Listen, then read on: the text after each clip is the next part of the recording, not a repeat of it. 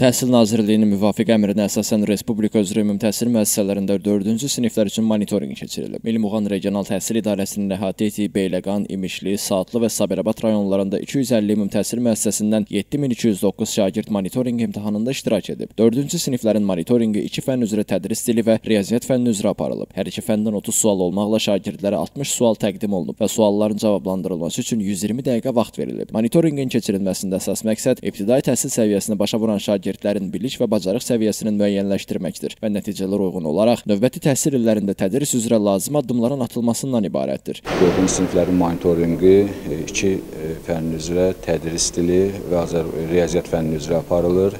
Hər iki fəndən 30-30 sual olmaqla ümumilikdə 60 sual uşaqlara təqdim olunur şagirdlərimizə və 60 sualı cavablandırmaq üçün 120 dəqiqə e, vaxt verilir. 19 may tarixində isə ilk dəfə olaraq 6-cı sinif şagirdləri də monitorinqlərə cəlb olunacaq. Milli Muğan Regional Təhsil İdarəsinin tabeliyində olan ümumi təhsil müəssisələri üzrə 7329 şagird imtahanda iştirak edəcək. Qeyd olunan sinif üzrə tədris dili, riyaziyyat və təbiət fənni olmaqla hər bir fəndən 25 sual olmaqla 75 sual təqdim olunacaq və sualların cavablandırılması üçün şagirdlərə 150 dəqiqə vaxt ayrılacaq. 6-cı siniflər üzrə monitorinqlərin keçirilməsində məqsəd isə həmin şagirdlərin 2 il öncə cəlb olunduğu monitorinqlərdəki nəticələrlə hazırda əldə olunan nəticələri müqayisə etməkdir.